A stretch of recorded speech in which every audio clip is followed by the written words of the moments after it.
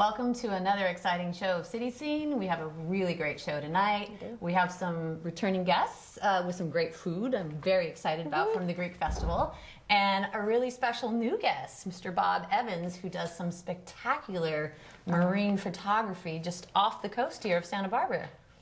Well, thank you very much for this opportunity, and um, it's quite special to be with the two of you here today. I had no idea. I was actually looking at the website. Yes. Amazing stuff. thank I'm you. super excited to talk about it. It's This- this Marine is- Megatropolis, is that correct? Exactly, Awesome. and uh, it's very exciting to be down at the Oxnard Channel Islands Maritime Museum. It's actually one of the most beautiful museums I've seen. It really It's is. got Oh, it's nice. paintings I've and there. models, and the people are just super nice. And it's uh, going to be up for quite a, I guess, till August the 27th. Okay. Right. And on July the 17th, I'm going to be giving a talk that I think is going to be very important for everyone in our community about what do we do with these structures. They're sitting out here off our coastline. They've been out here for 50 years. And 50 years. 50 years, Wow. I had no idea they And were we're out there. talking about the oil, Oil rig structures. platforms, Right. oil- yeah. That's kind of what you're specializing in. That's pretty cool. That is exciting. To hear about Um, so tell us tell us a little bit about the oil rigs and, and how you even started all this and how you got started. I mean, what what prompted you to start taking pictures of marine life on oil rigs? On oil rigs, exactly. Well, I pretty much uh, freelance as an underwater photographer since I was 16 and 17. I was inspired by the Jacques Cousteau. Our family, uh, we were only allowed to watch Walt Disney and the world of Cousteau. Oh, cool. I remember those days. You know, I, as a child, I was raised in Europe in the Mediterranean, and I looked. I had a little surf mat. I looked down at the kelp underwater, and I was fascinated with the life below the oceans. And I was very fortunate to be taught how to dive by pioneers Bob and Bill Meistrell, a body glove dive and surf Oh. in Redondo Beach. I'm a fourth generation Hermosa Beach. Wow. And I, uh, at 16 years old, I put a scuba tank on and uh, went underwater and, and saw all these fantastic things. And at that time, photography was new, and taking pictures underwater was uh, a new experience. And so I worked all summer painting a house in Gardena to get the money to buy my first Nikonos camera which was initially designed by Cousteau, was initially called the Calypso after his research vessel. And then Nikon camera bought the rights to the Calypso and they called it Nikonos. And so we started taking started taking black and white pictures because I couldn't afford color at the time, color film. And then went to El Camino College to go to film uh, school, film school there. And because at the time I was actually one of those individuals that's good for trade arts. I had a difficult time with math and other issues, and I fell into photography and went to Brooks Institute for a summer course in underwater photography out in high That's school. amazing. And just, or after junior college, El Camino, and decided that that's what I wanted to do. And I would go to churches and Lions Club and share slides with people with the stuff that we were seeing in the Redondo Beach Canyon. And then I started realizing that uh, there were artificial reefs Right. off Redondo Beach that actually took the old red streetcar line and dumped them into the ocean. And so at that, after that Hmm. Wait, time, they took streetcar lines and put them in yeah, the they They- yeah, they them created. I've heard of that, yeah. Interesting. and that was my first kind of exposure to something stuck on a sandy bottom. It would, all this life would start hanging around it. And it was kind of a, a protective area for like a, a sanctuary where the marine life could come and e- grow and exist. And well, that was kind of where I became, got my interest. I came up to Santa Barbara to go to Brooks Institute. Uh, and they gave me an honorary master's in photography because of how the work I was doing, and I was freelancing, selling pictures to Time Life and Geographic, and uh, and had my own boat. And our boat, uh, actually, one of my roommates. Uh, grandmother had taken care of Walt Disney, and he ended up with a lot of stock. So we put the stock up for the boat, and we were trying to be like Cousteau with my friends. You know, well, you emulate. good mentor some of, to you know, have. that's why. I mean, how many people can say they were Yeah, no, uh, uh, Cousteau just uh, amazing. back to Yeah. a huge generation of people of exploration and excitement of going underwater and And uh, that's we had the boat. We would go out to the islands and take pictures, and sell them to the magazines. And then one day, one of our good friends, uh, that was a specimen collector, said, "Hey, you guys should go take a look at some of these platforms off the coast." And from Santa Barbara out to the Channel Islands was a you know a couple hour boat trip out to islands and Right. fuel Right. where there was a platform Hilda that was right off Summerland, and it was basically a half hour motorboat down to the platform.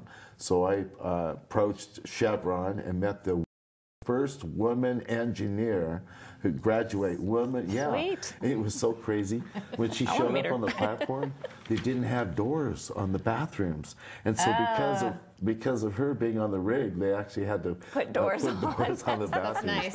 and so Linda, Linda was a, had a good idea. Yeah. Linda, Linda was uh, really cool, and she uh, saw what we were doing, and she convinced the her bosses, these pretty hardcore oil oil guys, Mm-hmm. uh, to allow us to go out there with our boat and start taking pictures, and, and eventually we logged 850 dives Oh uh, on the platforms, and um, uh, I pretty much used our own money. That's why I always say I have clean hands. Right.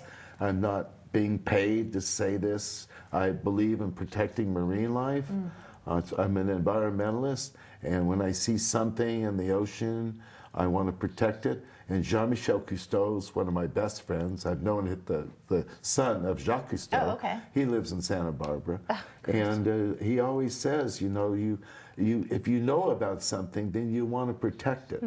And so that's kind of been his motto. And, and being he's one of my mentors, it's like I see this life on the platforms. And ironically, we proposed this exhibit to the Santa Barbara Maritime Museum Okay. uh, five years ago. And just within the last year, Greg Gorga, the, the director, approached me with Emily, who's their exhibit designer, and said, We'd like to do an exhibit on these offshore platforms. Well, unbeknownst to me, this decommissioning just popped up within this last year. Right, What okay. are we going to do With and rigs. With with the- the rigs? And the four H's were pulled out uh, quite a few years ago. And I was so involved in my fin business, it just kind of happened really quickly. And I realized that was terrible. All the stuff that we photographed and studied for all those years just got pulled up, taken down to Long Beach, and put into a landfill. And so I decided that Mm. Oh, this time around, we need to take a different approach. And the regulations that exist, that when they signed the oil industry, signed the contracts out here, was when you're done with production, you pull everything out.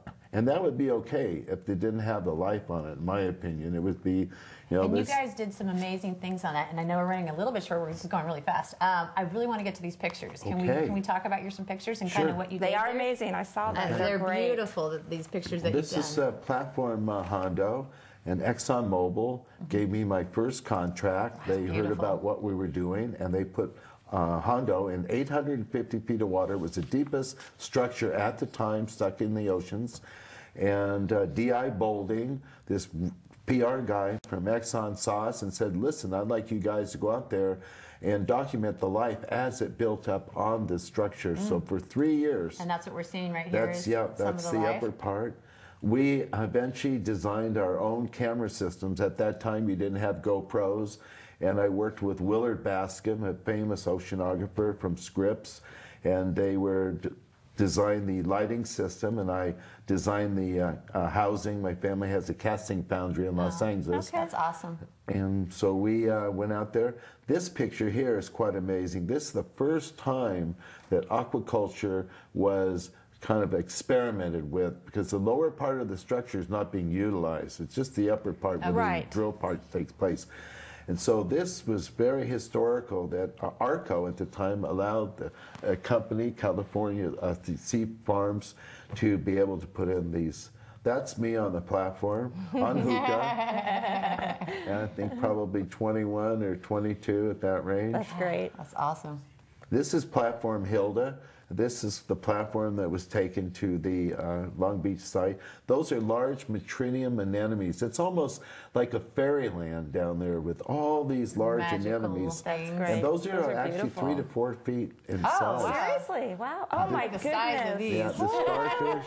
That's amazing. I don't think I've ever seen a I have starfish never that seen big. one. I've been around, like I said, thousands of dives around the Channel Islands. They, That's It's just a haven, a very extremely large starfish. Those are great.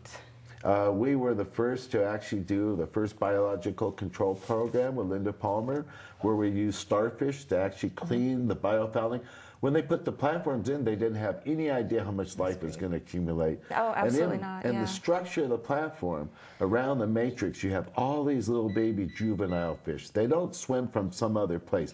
They come along in a larvae, they get into the mussel And then they matrix, and right they there. grow. That's the size of a quarter, just to give you an idea of the size of that fish. Wow.